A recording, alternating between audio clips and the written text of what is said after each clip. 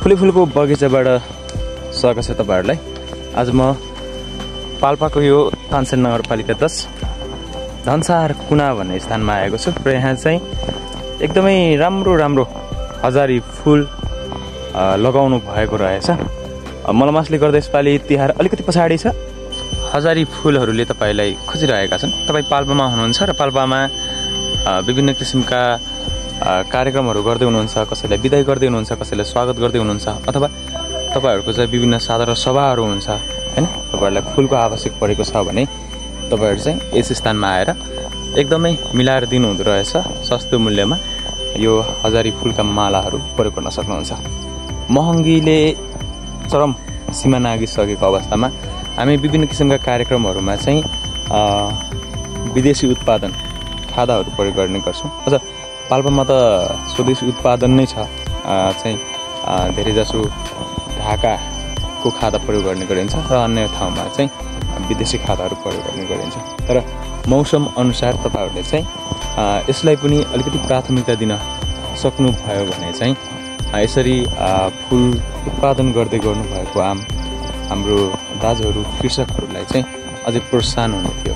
हाम्रो चाहिँ त्यसमा के छ भन्दाखेरि विदेशी सामानहरूलाई चाहिँ अलिकति प्राथमिकता दिने ती सामानहरू चाहिँ प्रयोग गरिरहने तर स्वदेशमा उत्पादन भएको चिजलाई चाहिँ प्रयोग गर्न नसक्ने भएको कारणले यसरी उत्पादनमा लागिराख्नु भएको यसरी काम गरिराख्नु भएको सबै व्यक्तिहरूले चाहिँ गाउँका कृषकहरूले पनि बजार नपाएकोले आफूले गरेको काम उत्पादन त भयो तर त्यसलाई सही ठाउँमा सदुपयोग नभएको हिसाबले यस्ता कामहरू चाहिँ गर्न छोड्ने गरेको चाहिँ हामी पाइरहेका छौँ।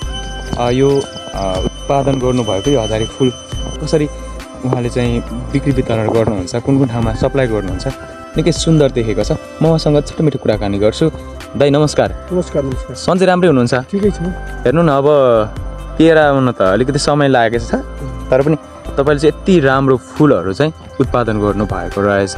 फुल लगभग धेरै नै फुलिसकेको छ र कतिपय फुलहरू चाहिँ फुल्न बाँकी छ। कहिले रोप्नु भएको थियो यो फुलहरू? यो साउनको अन्तिम हप्ता। साउनको अन्तिम हप्ता। बेच्ने बेला भएछ। बेच्नु भएको छ कि छैन? अलिअलि अलिक बेच्दै बेच्दै हुनुहुन्छ। तपाईँले फुल चाहिँ के माला बनाएर बेच्नुहुन्छ कि फुल त्यत्तिकै कसरी बेचिराख्नु भएको छ? माला बनाएर बेचेछौँ अनि तौलेर पनि बेचेछौँ ए तौलेर? अनि तौलिँदाखेरि चाहिँ कस्तो केजीको हिसाबले दिनुहुन्छ? केजीको हिसाबले। ए अनि कति रुपियाँ केजी कसरी दिनुभएको छ?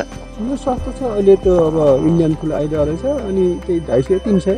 ए ढाई सय तिन सय रुपियाँ केजी बेचिराख्नु भएको छ। माला बनाएर पनि बेच्नुहुन्छ। माला बनाएर एक सय बिस तिस चालिस त्यस्तो हेरी हेरी ए जस मिलाएर दिनुहुन्छ। ए ए धेरै नै लगाउनु भएको रहेछ। धेरै फुल फुलिरहेका रहेछन्।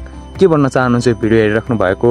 तपाईँको यो तानसेनका आम दाजुभाइ दिदीबहिनीहरू हुनुहुन्छ। उहाँहरूलाई चाहिँ अब तपाईँले यसरी फुल रोपिराख्नु भएको छ। यसरी तपाईँको बारीमा चाहिँ फुल फुलेका छन् भन्ने थाहा पनि छैन होला।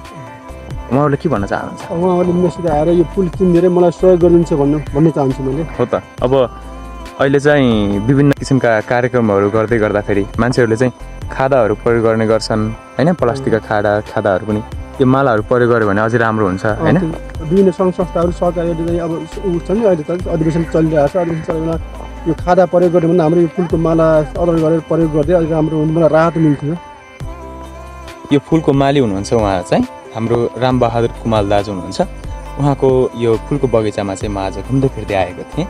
उहाँको यो बगैँचा एकदमै सुन्दर र शान्त छ। तपाईँहरू सबैजनाले एकचोटि उहाँले यो गर्नुभएको मेहनत उहाँहरूले उत्पादन गर्नुभएको यो फुलहरू तपाईँहरूका विभिन्न किसिमका कार्यक्रमहरू हुँदै गर्दाखेरि चाहिँ एकचोटि उहाँहरूलाई चाहिँ सेवा गर्ने अवसर दिनुहोला। उहाँले तपाईँले चाहिँ घरमै तपाईँहरूको कार्यक्रम भएको स्थानमै चाहिँ फुल उपलब्ध समेत गर्ने गर्नुहुन्छ। धन्यवाद नमस्कार।